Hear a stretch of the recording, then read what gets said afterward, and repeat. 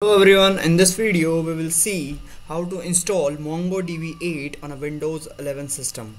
Step by step, whether you are just starting backend development or planning to use it within Python or Node.js, this guide is just for you.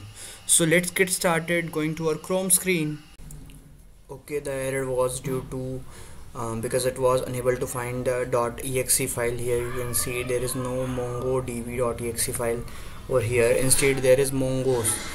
So the new version uh, so this is a new cloud shell or you can say legacy shell where uh, the mongos uh, is being run. So we will install the mongosh and here I will click over the download again.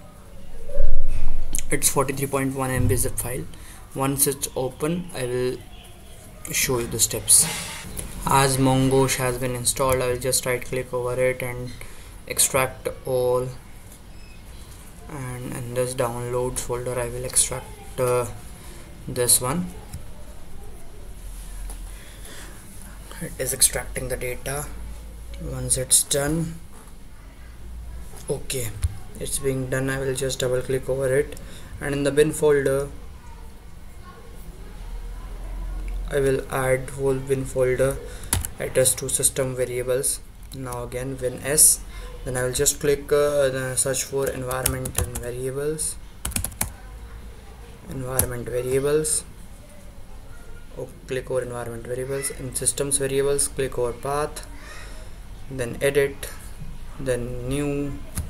And just paste over it. Then ok then ok and then ok let's try by running again. Uh, if I just write mongosh over here you can see if it gives the version or not. If it will not give the version then okay okay. Uh, it's done. So MongoDB has been installed. You can see the current uh, screen right now so it is installed uh, this is the way how you can install MongoDB. I know there is some BT uh, between the video. Uh, it was not uh, understanding what mongodb means so we added it to system variables. No worries. It happens sometimes when uh, the new version comes up and we were not aware of that and the new features especially like mongo sh and uh, if i just write again mongo version over here you can see. If I just write Mongo version over here okay okay okay. I'm inside uh, this so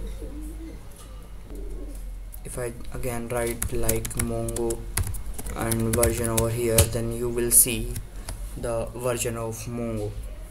Like it's command not found exception. Because it's not there in our uh, because it's not there in our uh, system variables right? So it's not been running.